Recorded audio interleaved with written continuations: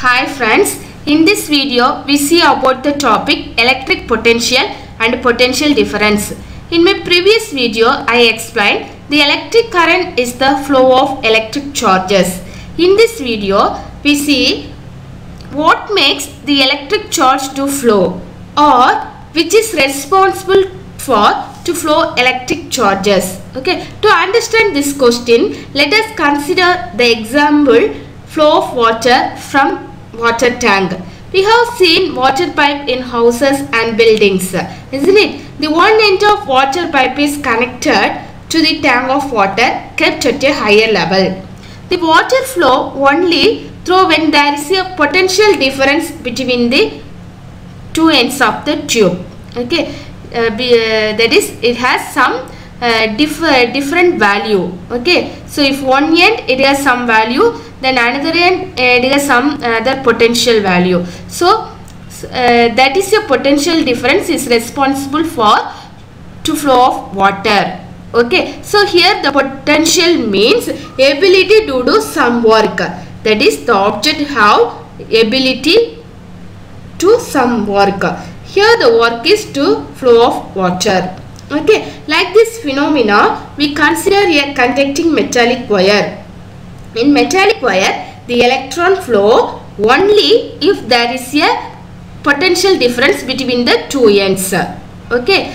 Uh, otherwise, the electron does not flow from one place to another. Okay. So, if there is a potential difference between the two ends, the electric charges flow, that is the electron flow, then the current will pass through the circuit. Okay. Now, we see how is the potential difference produced in a circuit? Okay here uh, here one circuit is there. In this circuit cell switch uh, lamp and cable. Cable means the wires. Lamp uh, take a light okay? The potential here the potential difference is produced by the battery. So battery is nothing but it is a one or uh, two cells. Is called the battery. Okay so it is produced by the battery okay so battery contain one or more cells. The cell has some chemical action to produce the potential difference. So the source of the source to produce the potential difference is the cell. Okay the cell has some chemical action to produce the potential difference. Okay now we see uh, the definition for potential difference. Okay so the potential difference between two points in an electric circuit carrying some current as the work done to move a unit charge from one point to another.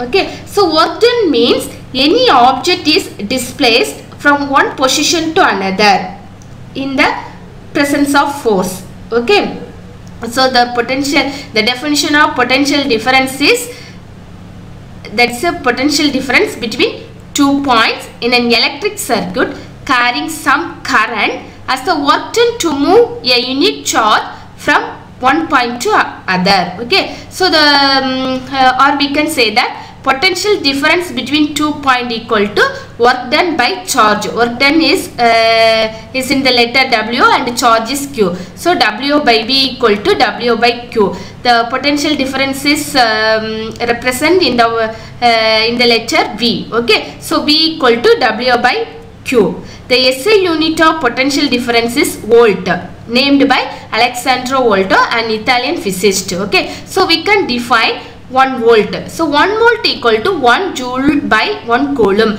Joule is the unit of work done and uh, coulomb is the charge of uh, so, sorry coulomb is the unit of charge. So uh, 1 volt we can define. 1 volt equal to 1 joule by 1 coulomb. Okay? So uh, the potential difference is measured by means of an instrument called voltmeter. Okay? So we can measure the potential difference using the instrument called voltmeter. Thank you